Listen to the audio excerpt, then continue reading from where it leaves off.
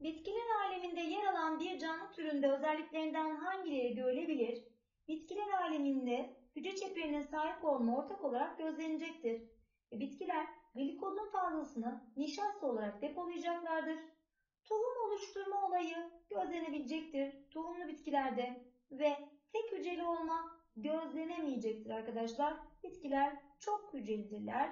Hangileri görülebilir dediğimizde 1, 2 ve 3 olmalıdır. Aşağıdaki şekilde bir bitkinin genel yapısı gösterilmiştir. Buna göre numaralı yapılarıyla ilgili aşağıdaki ifadelerden hangisi yanlıştır? Bir numaralı yapıdaki kloroplastlar fotosentezin gerçekleşmesini sağlar demiş. Bir numarada evet yaprakta yer alan e, kloroplastlar fotosentezin yani besin sentezinin gerçekleşmesini sağlayacaktır. Atmosferdeki karbondioksiti alacaktır. Köklerden suyu çekecektir ve besin sentezleyerek oksijen de atmosfere tekrar verecektir diyoruz. O zaman bu doğru oldu. İki numaralı yapı bitkilerde eşeğli üremeyi sağlar demiş. İki numaralı yapımız çiçektir. Çiçek evet bitkilerdeki e, üreme organıdır ve tohum, meyve oluşumunu da sağlayacaktır. O zaman bu da doğrudur.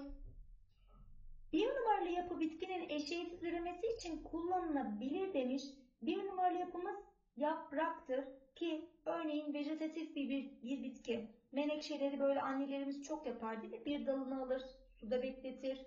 Aynı şekilde bir menekşesi olur tekrar. İşte bitkinin eşeğsiz üremesi için kullanılabildi. 3 numaralı yapı bitkinin topraktan su ve mineral almasını sağlar demiş. 3 numaralı yapımız köktür. Kök topraktan su ve mineral almasını sağlayacaktır. Bu ifadem de doğrudur. 3 numaralı yapıda klorofil pigmenti bulunur demiş ki köklerde genel olarak klorofil pigmenti bulunmayacaktır. Bitkinin yeşil yerlerinde klorofil pigmenti vardır. E cevabım E şıkkıdır. Yeşil bitkilerde olaylarından hangileri meydana gelir? Yeşil bir bitki ise kloroplast organeli olduğunu ya da klorofil pigment içerdiğini söyleyebilirim. O zaman bunu kullanarak organik besin üretimi yapabilecektir. Yine bu bitkimiz ATP sentezi gerçekleştirebilecektir. Ki tüm canlılarda ATP sentezi ortak olarak gözleniyordu. Yine protein sentezi de gerçekleştirebilecektir diyoruz. Cevabımız E şıkkıdır. Bitkiler alemindeki canlıların tamamında yapılarından hangileri ortak olarak bulunur demiş. İletim demeti ve tohum demiş arkadaşlar. Bu çiçek, meyve, tohum ya da iletim demeti gibi yapılar bazı bitkilerde gözlenecektir. O yüzden tüm canlılarda, tüm bitkilerde ortak olarak bulunur diyemem. Selüloz çeper tüm bitkilerde ortak yapı olarak çeper yapısı selüloz yapıdır. O yüzden ortak olarak bulunacaktır.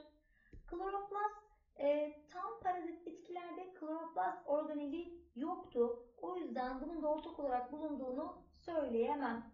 Cevabım yalnız 3 olmalıdır. Aşağıdaki kavram haritasında bitkiler aleminde yer alan canlıların genel özellikleri verilmiştir. Buna göre numaralandırılan kavramlardan hangisi bitkilerin genel özellikleriyle ilgili değildir?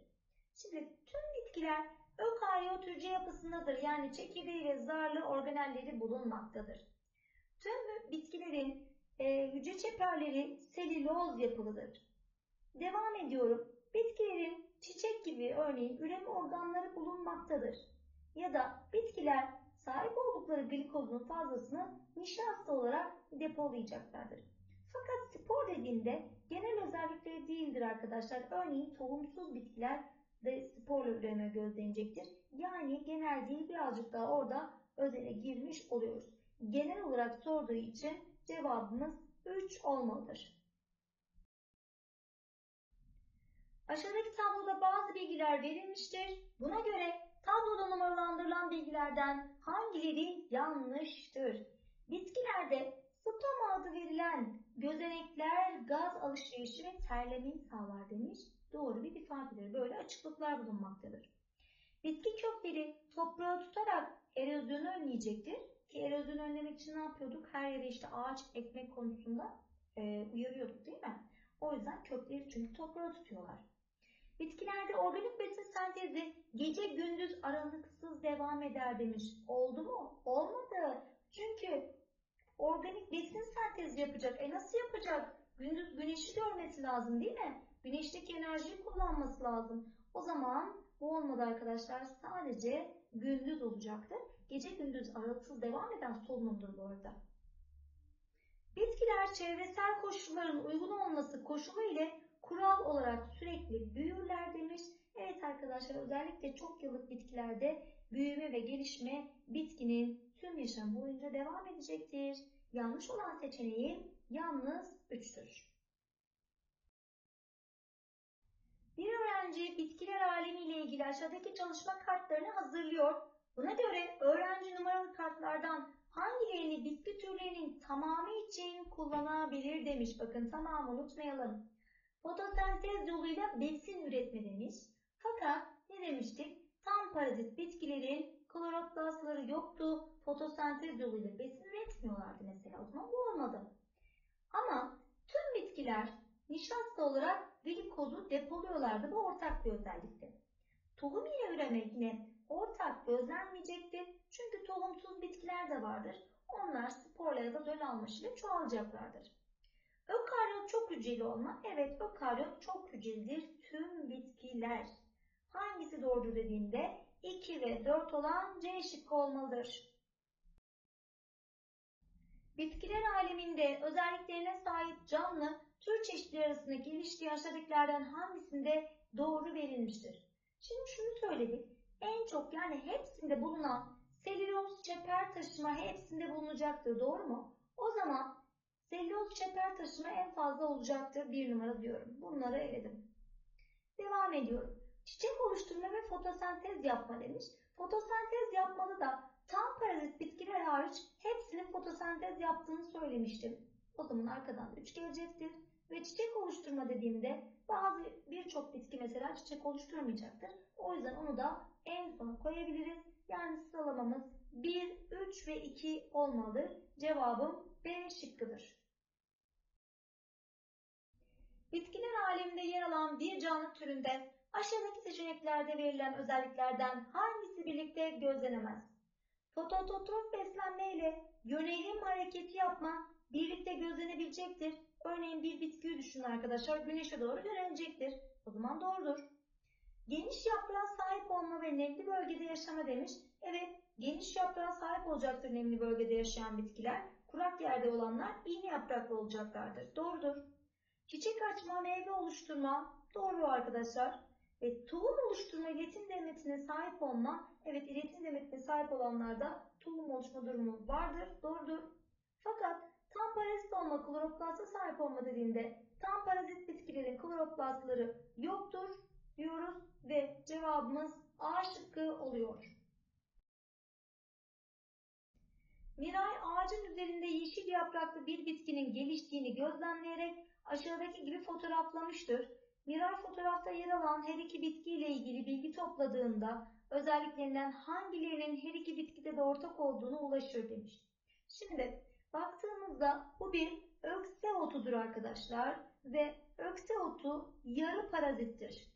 Ökse otu hatta ağaçların üzerinde bu bitkiyi gözlemleyebilirsiniz. Şimdi o zaman diyorum ki gelişmiş kök sistemine sahip midir? Hayır gelişmiş kök sistemi yoktur. Yarı parazit bitkiler bu arkadaşlar emeçlerini üzerinde yaşadığı bu bitkinin odun borusuna kadar uzatacaktır. Oradan suyu, mineralin hepsini oradan alacaktır.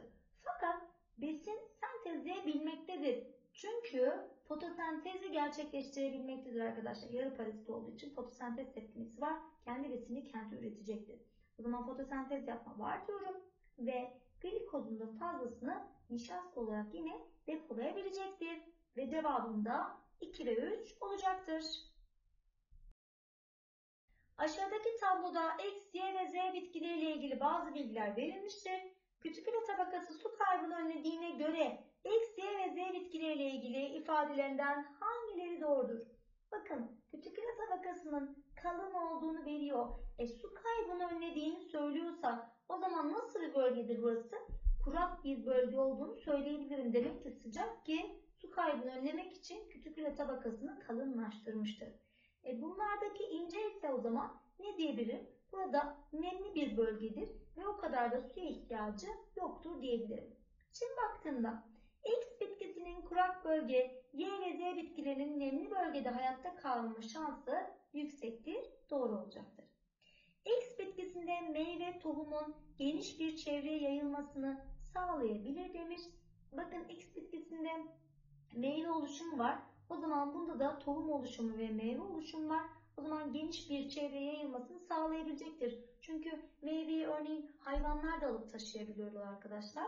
Ee, ve bu hayvanlar bir yerden bir yere taşıyarak e, tohumun da yayılmasını sağlayabilecektir. Z bitkisi iletim demeti taşımaz demiş. Z bitkisi bakın tohumu var fakat meyve oluşumu yok. Örneğin buna e, ben bir çam ağacını örnek olarak verebilirim. Bakın tohumu vardır fakat meyve oluşumu görünmemektedir. Açık tohumlu bir bitkidir.